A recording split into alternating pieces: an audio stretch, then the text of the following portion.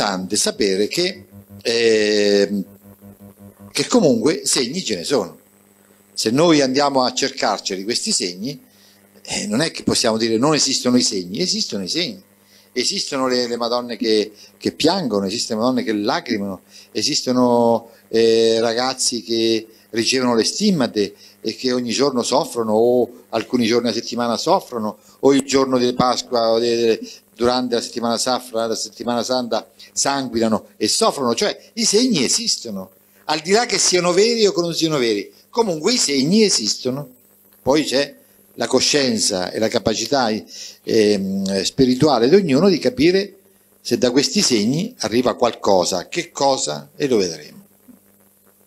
Quindi i segni sono, sono eh, palesi, devono essere palesi e comprensibili è chiaro, se mi faccio, se mi faccio un, una segnaletica in cui dice la curva a sinistra con tutti i rigori, tutti i disegnetti vicino, è probabile che io non capisco che, se, che devo andare a sinistra, che vado dritto, che vado a sbatte.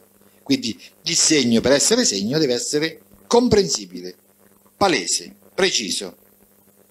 Ecco, i segni, i segni sono uh, sicuramente segni che hanno un riconoscimento spirituale perché intanto ci è stato detto che ci sarebbero stati dei segni, no? Nel Vangelo c'è scritto, anzi negli Atti degli Apostoli ci dice, io effonderò il mio spirito sopra ogni persona, i vostri figli e le vostre figlie profetizzeranno, i vostri giovani avranno visioni e i vostri anziani avranno dei segni. No? Quindi eh, i sogni, i sogni degli anziani, no? molti sogni, eh, molte molti ragazzi che eh, hanno le visioni, no? quindi vedono la Madonna, vedono Gesù, e molti altri che diciamo, hanno dei segni perché qualcuno gli ha detto se vuole soffrire come ha sofferto lui. Oh, ma questo riconoscimento spirituale, questo riconoscimento popolare, diciamo, come si è tramutato? Bisogna, qui bisogna essere anche molto intelligenti e vedere le cose come stanno. Perché? Dopo che Papa Francesco ha avuto delle esternazioni sulle, sulle apparizioni di Meciugorie, dicendo che non è possibile, la Madonna non è un bustino che suona alle 4 del pomeriggio, eccetera, eccetera. Beh, noi da tempo, sia io, Pier, Giorgio stesso, avevamo dei dubbi su questa faccenda, ma non dei dubbi nel senso che la Madonna non è apparsa. Avevamo dei dubbi eh, sull'ascolto e la lettura dei messaggi, perché è importante guardare i messaggi. E noi dire che vedo la Madonna, se tu finché dici vedo la Madonna, la vedi tu, è per te. Il segno, da questi 30 anni di esperienza, ho capito una cosa, che il segno è per chi lo vede. Ci può essere un segno per chi non lo vede, il segno innanzitutto è per chi lo vede. Poi se questo segno ti dà ulteriori segni affinché la cosa deve essere partecipata agli altri, deve essere resa pubblica agli altri, il segno è per tutti. Il segno è per tutti. Non è questo comunque. Non sono io. E quindi il segno è per tutti, ma ci deve essere un segno che sia per tutti.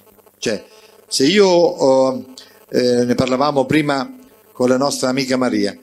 Eh, se io continuo a dire vedo dei cuoricini, vado per strada, vedo un mattone a forma di cuoricino, eh, mi si casca il caffè, mi forma un cuoricino, eh, allora eh, il fatto di... Eh, spegnilo pure, spegnilo.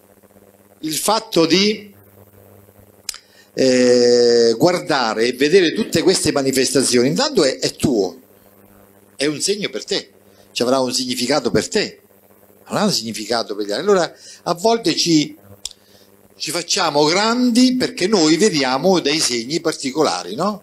Vediamo dei segni, abbiamo delle, delle visioni particolari nel mondo che ci circonda, ma non sei grande perché vedi i cuori. Devi essere talmente umile e dici perché vedo i cuori? Cioè è il contrario, cioè nel senso non è la grandezza nel vedere sempre un, un segno, la grandezza è nel distinguere quel segno che mi vuole dire a me. Chiaro? A volte questa cosa invece noi la ribaltiamo, oh, sai che io succede questo, faccio sempre un sogno particolare, eh, questo, quest'altro, eccetera, come se la sua esperienza o la tua esperienza o la nostra esperienza ci renda più, più ci dia, non so, le,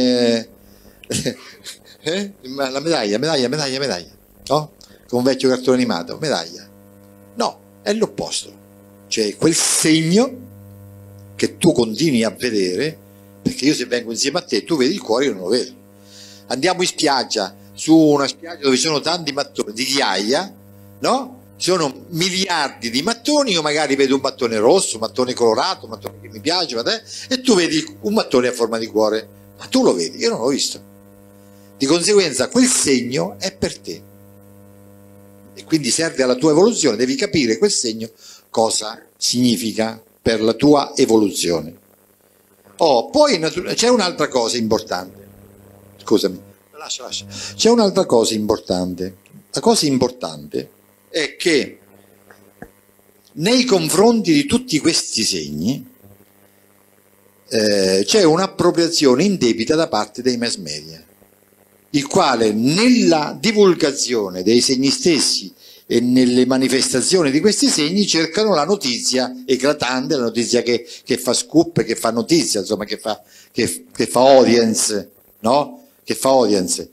Quindi c'è un'appropriazione indebita, i quali mass media non spiegano la natura divina o la natura spirituale di quel segno, ma dicono soltanto che succede e quindi eh, c'è tanta gente che lo vede che dice oh che bello che poi c'è un'altra situazione che è, io eh, eh, sono andato in pensione da pochi mesi, prima di andare in pensione lavoravo con del, delle persone, arriva una collega, dice sai sono stata a Medjugorje, adesso mi sento tanto in pace con me stessa. Perché, perché quando prego sono così felice, sono così contenta, eccetera. Io ho fatto, beh, anche io quando prego sono felice. Bisogna andare a Medjugorje per dire che sei felice bisogna andare ad, una, ad un pellegrinaggio per dire che sei felice. Ma quel pellegrinaggio, quella Madonna, che ti ha detto? E beh, dice, lì fa tante grazie, tanti miracoli, eccetera. Manca, manca una cosa fondamentale.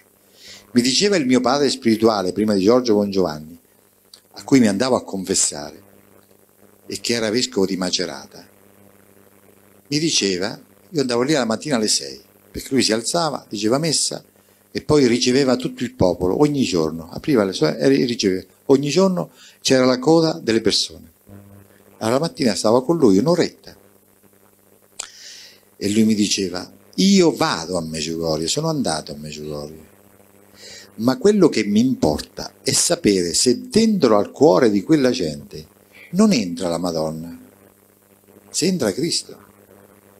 Cioè non può essere la Madonna ad essere deificata. Il centro, abbiamo detto prima, il centro è Cristo della nostra fede, non è la Madonna. Io sono molto devoto della Madonna, io sono molto devoto della Madonna.